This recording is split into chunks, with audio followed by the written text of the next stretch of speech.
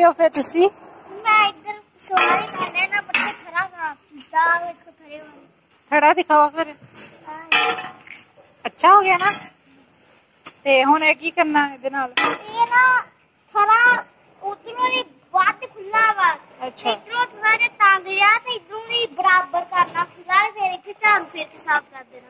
ਛੜ ਫੇਰ ਸਾਫ਼ ਕਰ ਦੇਣਾ। ਚਲ। ਤੇ ਬਾਕੀ ਕੀ ਕਰ ਰਹੇ ਨੇ ਬਾਕੀ ਉਹ ਨਾ ਸਵਾਦਾ ਕਰਦੇ ਜੋ ਸਕ੍ਰੈਪਰ ਹੋ ਗਿਆ ਉਹ ਮੇਰੇ ਦਾ ਚਾਹ ਇਹਨੇ ਖੋਲੀ ਆ ਮੱਛੀਆਂ ਵਾਲੀ। ਆ ਤੇ ਸਾਰੀਆਂ ਆ ਕੇ ਹੋਦੀ ਤੇ ਖਲੋ ਗਈਆਂ। ਅੱਛਾ, ਤੇ ਉਹ ਫਿਰ ਹੁਣ ਸਾਡੇ ਪਿੱਛੇ ਸਫ਼ਾਈ ਹੋ ਰਹੀ ਹੈ। ਸ਼ਾਮ ਦਾ ਟਾਈਮ ਦੇਖ ਲਓ ਜੀ ਫਾਰਮ ਦੇ ਉੱਤੇ ਇਦਾਂ ਦਾ ਹੁੰਦਾ ਹੈ। ਹੁਣ ਆਪਾਂ ਫਿਰ ਸਕ੍ਰੈਪਰ ਕਰਾਂਗੇ। ਸਕ੍ਰੈਪਰ ਚੱਲਣਗੇ ਤੇ ਸਾਰੀ ਸਾਫ਼ ਸਫ਼ਾਈ ਹੋਏਗੀ। ਫਾਰਮ ਦੀ ਸ਼ਾਮ ਲੀਆਂ ਦੇਖ ਰਹੇ ਹੋ, ਇਹਦੇ ਵਿੱਚ ਸਾਰਾ ਗੋਬਰ ਇਕੱਠਾ ਹੋ ਜਾਏਗਾ। ਤੇ ਫਿਰ ਸਕ੍ਰੈਪ ਕਰਕੇ ਤੇ ਪਿੱਛੇ ਚੱਲ ਜਾਏਗਾ। ਹੈਲੋ ਜੀ। ਕਿਉਂ ਨਾ ਕਈਆਂ ਨੂੰ ਆਦਤ ਹੈ ਇਹਦੇ ਵਿੱਚੋਂ ਦੀ ਨਿਕਲ ਜਾਂਦੀ ਆ ਗ੍ਰਿਲ ਦੇ।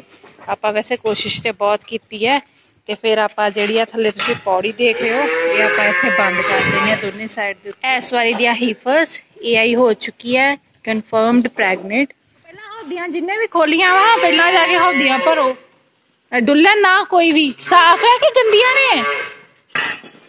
ਜਿਹੜੀ ਕੋ ਗੰਦੀ ਹੈ, ਸਾਫ਼ ਕਰ ਲਓ। ਤੇ ਹੁਣ ਇਹਨਾਂ ਨੇ ਆਪਣਾ ਹਰਾ ਘਾਹ ਖਾ ਲਿਆ।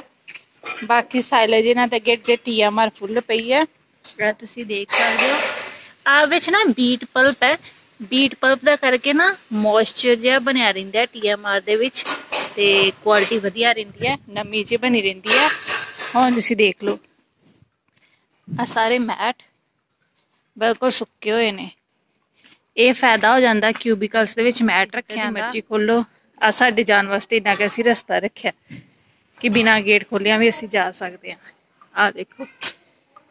ਇਹ ਸਾਰਿਆਂ ਦੇ ਵਿੱਚ ਇਦਾਂ ਕਿੱਲ ਨੇ ਉੱਤੇ ਵੀ ਤੇ ਥੱਲੇ ਵੀ। ਕਦੀ ਕਦੀ ਆ ਜੋ ਹੈਗੀਆਂ ਨੇ ਇਹ ਕਿੱਲ ਪੁੱਟ ਦਿੰਦੀਆਂ ਨੇ ਕੱਢ ਦਿੰਦੀਆਂ ਨੇ। ਤੇ ਸੇਮ ਇੱਧਰ ਵੀ ਗੇਟ ਲੱਗੇ ਹੋਏ ਨੇ।